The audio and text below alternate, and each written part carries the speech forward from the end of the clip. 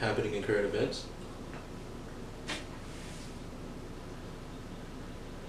About sports? Forgot who's going to the World Series this year.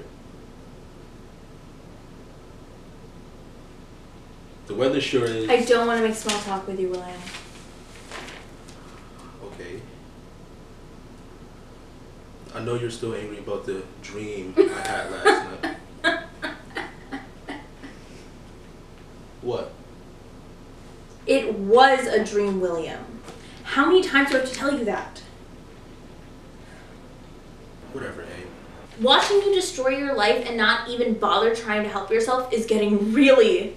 You want a divorce? Is that it? You want to divorce the crazy person? Oh, come on, that's not fair. No, no, it's okay. I'm a big boy, Aim. I can take it. So go on, say it. Come on. I've got a screw loose. You can't wait to get rid of me. I. I don't know, William. I don't know isn't a fucking answer, Amy.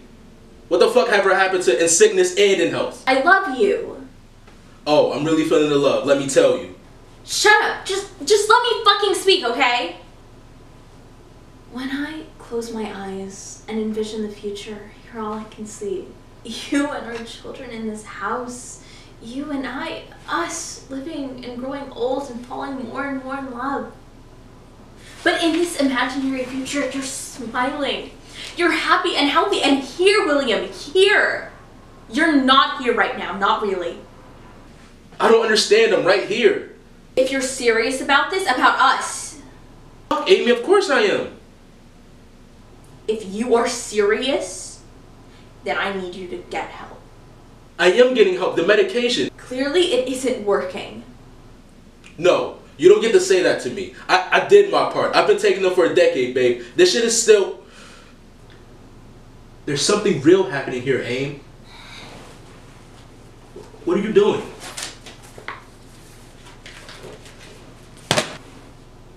Dr. Doggan, who's.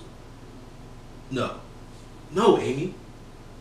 She's good, trust me. Cynthia recommended her. Yeah, and look at Cynthia. She's fucking batshit crazy. They had to drag her out of the goddamn festival last year. Hey, she's doing a lot better now, and it's because of her sessions with Dr. Doggin. Amy, Look, give it a try, that's all I'm asking for. I'll think about it. William, I need more than for you to just think about it. I need you to do something. Listen, sitting in a room with someone spewing Freudian bullshit isn't going to help me get to the bottom of anything, Amy. And it sure as hell isn't going to solve the fact that there's something haunting me. These aren't just dreams. That's what you think. That's what I know. When you listen to yourself, you sound. Say it, go ahead. No, William, you say it. Say you'll get help, that you'll go to therapy and try to help yourself. I'll think about it. Okay, William, you go ahead and think about it. But when you're done thinking, maybe then you'll finally see how everything is burning down around you. But by then it'll be too late.